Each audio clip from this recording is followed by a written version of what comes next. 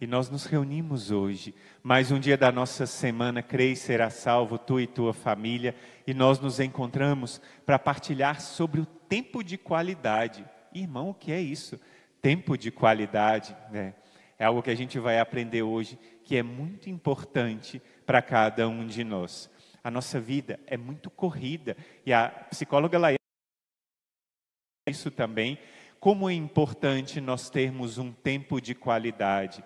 Nós temos que trabalhar fora de casa. Quantos de nós, vocês, minhas irmãs que rezam comigo, talvez estão rezando porque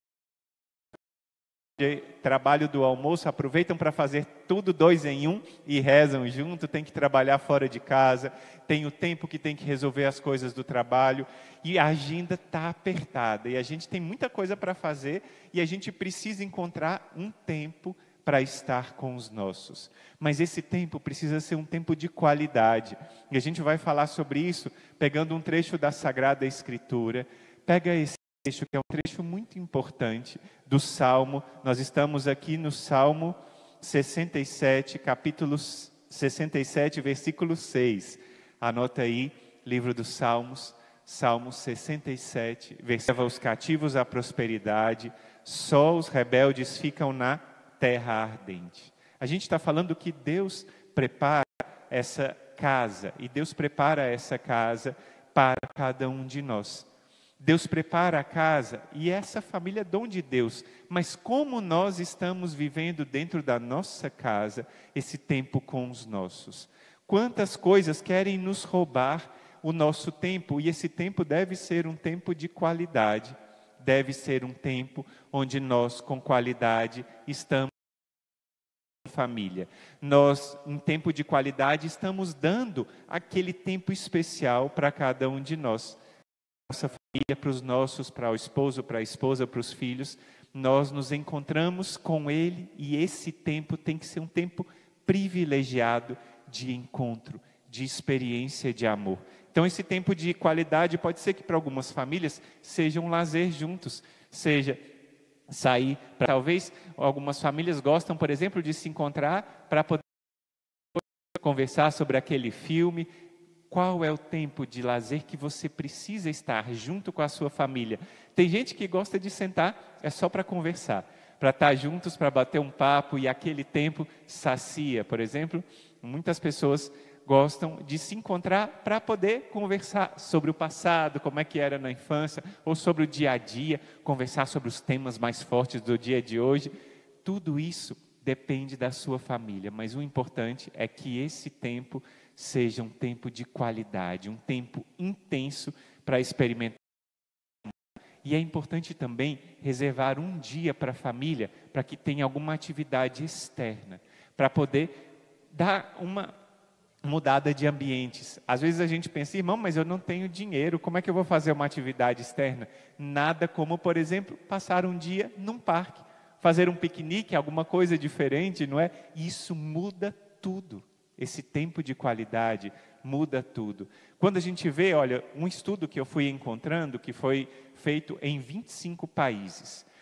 Ele, esse estudo diagnosticou que mais ou menos 35 minutos por dia é o tempo que as pessoas têm um tempo de qualidade para a sua família. Rezam esse texto em família e enquanto vai lá proclamando, rezam junto, dão as mãos, depois aquilo com os outros, como é que foi e tudo. Então, esse tempo é muito importante que a gente pode fazer junto. A hora do jantar. Vocês chegaram em casa, 6 e 15 por aí, e a hora de jantar é uma hora em que a gente se encontra para jantar junto e viver esse momento de experiência do amor em família. Tem gente, por exemplo, que gosta de consertar as coisas juntos. Tem uma família que eu conheço aqui, grandes amigos nossos, que o pai ama fazer com os filhos reparos dentro de casa. E esse reparo se torna um momento de alegria para a família toda. Vão consertar uma porta, abrem um liquidificador e vão lá ajeitar juntos, vão fazer um reparo juntos. Como isso é especial, como isso muda a vida das crianças e dos pais.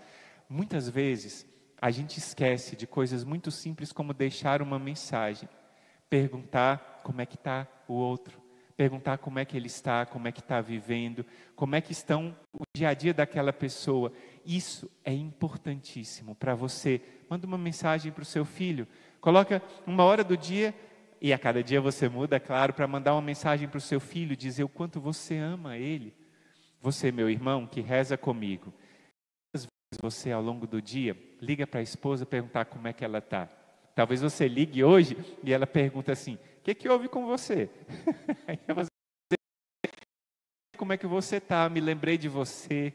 Ela vai falar: o que, que você quer? Eu não quero nada, não, só quero te dizer que te amo. Declara isso. Pequenos momentos de qualidade no amor vão mudando a vida da gente, vão mudando o dia a dia.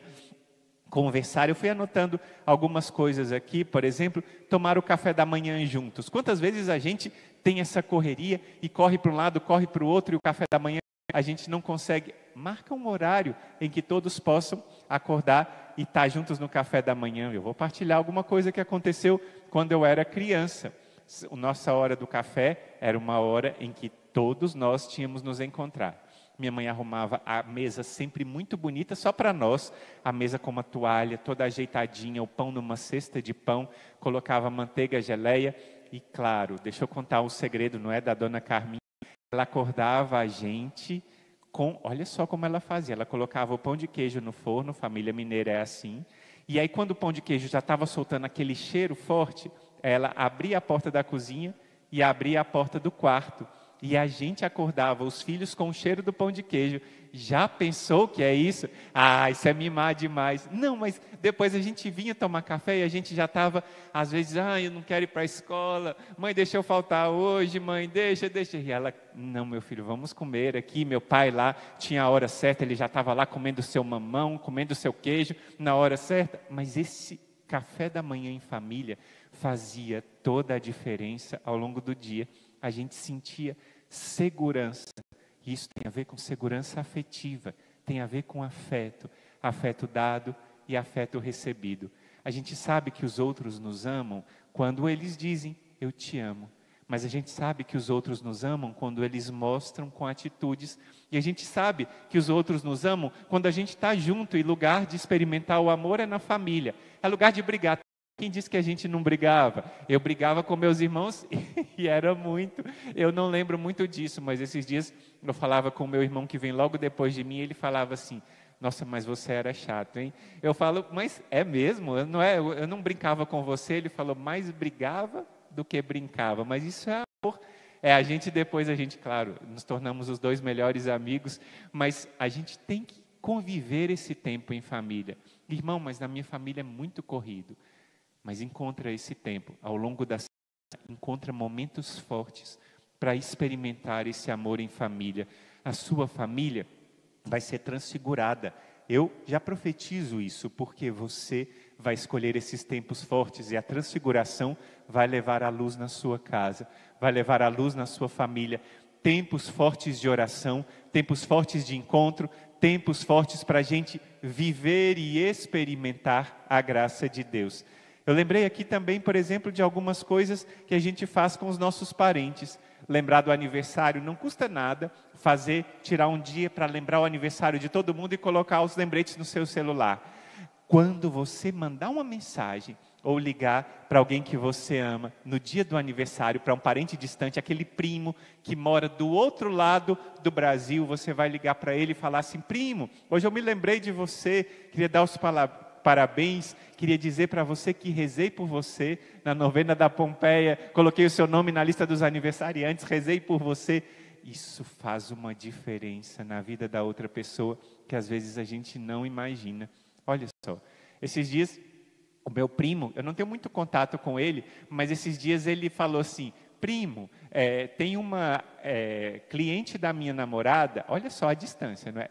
O meu primo, que eu não falo muito, me mandou uma mensagem. Tem uma cliente da minha namorada que, ou é uma amiga da namorada, não lembro, que reza com o exército de São Miguel. Será que o senhor podia mandar uma mensagem para ela? Aí eu mandei uma mensagem rapidinha para ela. Ele disse que ela ficou tão feliz e ele próprio ficou feliz de falar comigo, de se encontrar comigo. A gente tem muitos anos que não se vê, talvez uns uns 15 anos, não sei, mais ou menos isso que a gente não se vê, mas a gente pôde se reencontrar, se falar e foi um momento de profunda alegria. Faça isso. E eu tenho certeza que as coisas vão começar a mudar na sua casa. Isso é dom de Deus e você é instrumento de Deus para que a sua família vá sendo transformada aos poucos. Não esquece, você é um instrumento de Deus. É Deus quem vai se usar de você para transformar muitas coisas na sua família. Amém? Uma posse dessa outra formação em que Deus já falou mais ao nosso coração. A cada dia nós vamos anotando. A nossa irmã Maria Helena está aqui fiel no chat e ela vai anotando as formações. Ela vai tomando nota para também na, no dia a dia dela ela ir transformando o dia a dia. Cada um de nós vai tomando nota. As formações da Pompeia são curtinhas, mas são intensas. E a gente vai aprendendo a cada dia a fazer a diferença na nossa vida. Amém? Então vamos receber esse testemunho, um testemunho que a gente recebe de mais uma guerreira, é você, junto comigo, dando a formação. Logo depois da formação que eu dou, é você quem dá o testemunho de fé, o testemunho de luta, o testemunho de vitória. Bom dia, irmãos e irmãs. Hoje eu venho dar o meu testemunho de que graça alcançada é graça testemunhada. Alguns meses atrás, eu estava desesperada por causa de um filho andando por caminhos errados.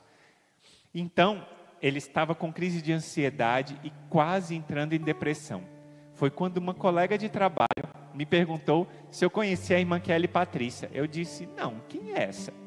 E ela me disse: Olha, tem um terço ao meio-dia que a gente pode é uma bênção. E no mesmo dia, na hora lá no trabalho, eu coloquei o fone de ouvido e fiquei ouvindo e trabalhando, porque o meu horário de almoço é às 13 horas. E eu comecei a antecipar já para rezar. Pois bem, desse dia em diante, comecei a rezar sempre. Passado alguns dias, também comecei o texto da misericórdia. E quando eu perdi o emprego, também comecei o texto do combate. Irmãos, deixa eu contar para vocês. Graças a nosso Senhor Jesus Maria, nossa mãe, e graças também hoje é, a vocês, deixa eu contar o que aconteceu. Meu filho está no bom caminho.